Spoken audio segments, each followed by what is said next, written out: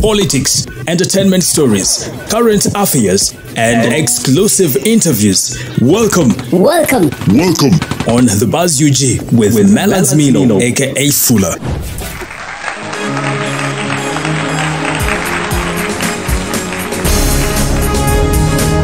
Now, the spokesperson of uh, UPDF Brigadier General Felix Kulaije has been blasted so big time by Ugandans on different social media platforms after he said that NUP supporter Mwesigwa Eric was not in the hands of any security agency. Recently, Eric alleged that he was tortured by military officers from the security agencies. However, Kulaije says Eric should head to the Uganda Human Rights Commission or to police and uh, report the matter so that they commence intensive investigations.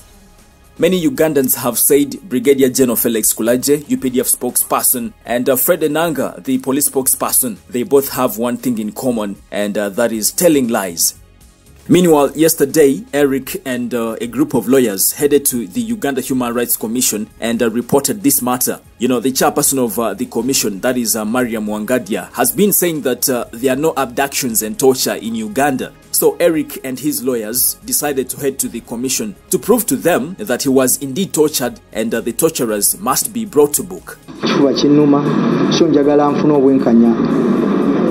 abantu okukwatibwa era n'ensi ekimanye nti nno kituufu ddala.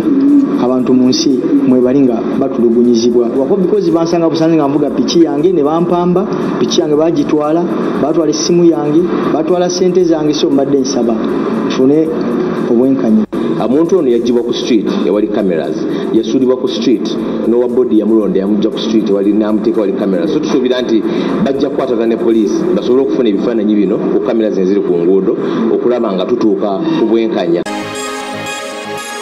Now, in other news, uh, many people in the media and uh, Ugandans on different social media platforms are still questioning why the president of NUP, His Excellency Bobby Wine, is quiet on his social media platforms about the release of uh, the two members of parliament, Horrible Segirinya Muhammad and uh, Alan Sewanyana. Yet he's been one of the people demanding for their release. so kyensuubira nti aitha wingi emu yebadde ekulembedde enteeseganya nga wingi yafunye yafunye okukkaanya ne gavumenti ey'omumakkati nga mwami tamanyi However, reliable sources have revealed that Bobby Wine is not happy with the leader of opposition, the Right Honorable Matthias Mbuga, after reports indicated that there were negotiations between Matthias Mbuga and uh, President Museveni to secure bail for the two members of parliament. In an interview with uh, Grapevine, an online publication, Horrible Matthias Mbuga was questioned why his president Bobby Wine is still quiet about the release of the two members of parliament, and he said he cannot think for him. Matthias Mbuga said anybody questioning Bobby Wine's silence should contact him and question him why and what he thinks about the release of the two members of parliament.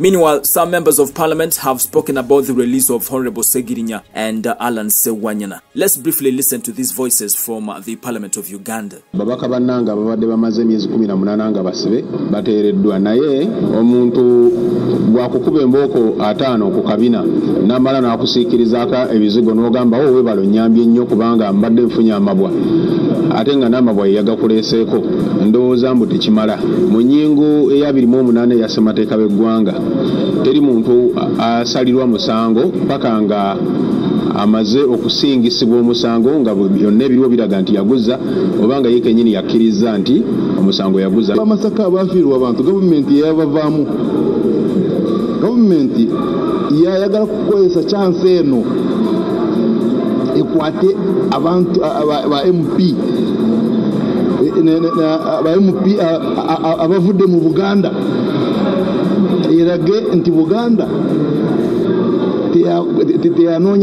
teyakuba kalulu bulungi museveni alaga abaganda nti alina amaanyi ag'okukwata aba mp ba buganda. Kati bwe mbakwata nja kutiisa aba mp abalala. Alabye gulo nti kooti kooti ewadde bail naye ng'abantu bakyalina okubuusabuusa. Ba- oba banaavaayo oba banaavaayo oba banaddamu ne babakwata so mu nkola ey'amateeka abantu bandibadde bagenda bugenzi waka kubalinda kujaganya nabo. So si kubeera ku kooti balabe oba banaabata. Si kubeera ku kaduukulu oba ku prison balaba banaabata. Kino ekyo ebitongole ebikuumaddembe awamu ne judiciary beetaaga okwongera okugumya emitima gy'abanauganda nti omuntu waba afunye bail kooti ng'emuwadde kitegeeza muntu ono kuddaka lizinga oba kuta baka bannaffe abadde tebakiikirira bantu ba- bantu baabwe. Ebbanga lino ly'omwaka gumu n'ekitundu so abantu bamakinde ne kawempe bagenda kufuna representation okukiikirirwa mu lukiiko Ah, ku mwaka gumu n'ekitundu kubeera nga tebanakufuna ah, gundi obujulizi kya buntu. Okuta omuntu oyo n'omuleka n'osobola bwe baba mu maaso eyo nga babufunye obujulizi oba ekiwe balumuka babazeeyo mu kooti naye kati kino kye bakoze kyekituufu kyekyobuntu bulamu kyekigobera amate